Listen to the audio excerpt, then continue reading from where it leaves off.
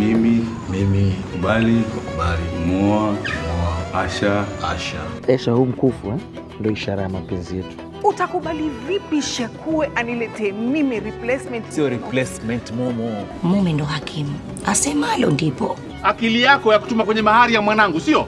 Watoto uliwazaa peke yako? Vyakula vimejaa tele frijini, kisa wala ofisini. Uko ofisini kwani siku hizi mmefungwa mkaa?